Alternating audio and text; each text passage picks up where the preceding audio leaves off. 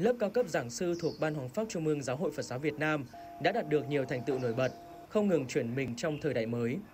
Quá trình tuyển sinh khóa 2, niên khóa 2022-2025 đã có hơn 100 tăng ni giảng sinh trúng tuyển.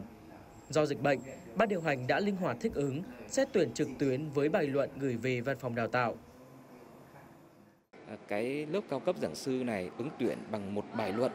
Thì cái bài luận này cơ bản là các thầy cũng nói lên được cái trí nguyện xuất gia của mình cái nhìn nhận về Phật pháp của mình.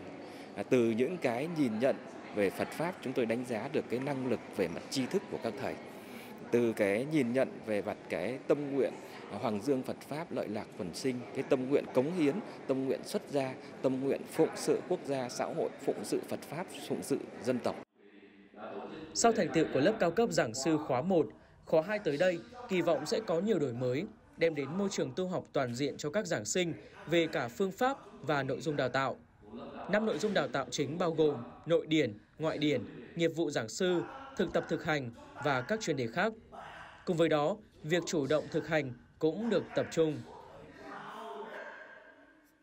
Chúng tôi sẽ bổ trợ ờ, chuyên sâu và rất nhiều vào cái kiến thức đó là thực tập và thực hành như vậy với năm cái lượng kiến thức này thì lý thuyết cơ bản là học có 50% lý thuyết, còn 50% là tự học.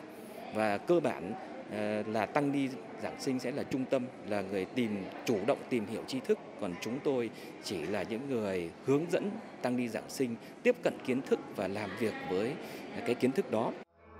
Ngoài ra, ban chủ nhiệm lớp cũng đề cao phạm hạnh, trí thức, năng lực, ba mục tiêu quan trọng của Hoàng Pháp.